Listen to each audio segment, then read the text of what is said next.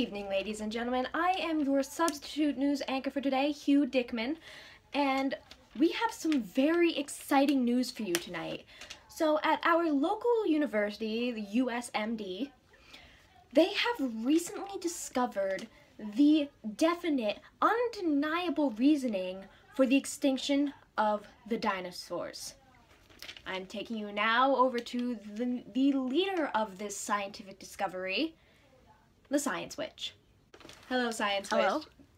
Yes. H- hello? Y- yes, yes, I can he- I can Hello? hear hello? Oh. Yes. okay, okay. we- we- So here at the university, we have been studying for mm-hmm. decades, trying to figure out exactly how it is that the dinosaurs went extinct. And I mean, we we we've gone through everything.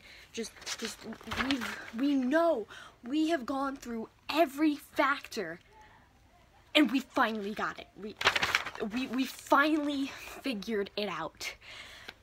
I'll show you guys the video right now.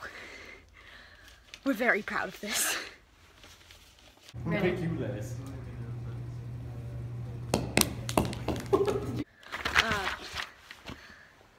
So yeah, uh, there you have it with all of our scientific proof. I mean, as you can tell, very, very, very, very, very serious scientists. You know, you can see by my lab coat and uh, my my various pair of scientific glasses that uh, this is this is definitely true. So uh, thank you for having me. uh, Thank you for agreeing to speak with us, Science Witch. We really appreciate it, and we're glad you were able to share Uh, this with us first.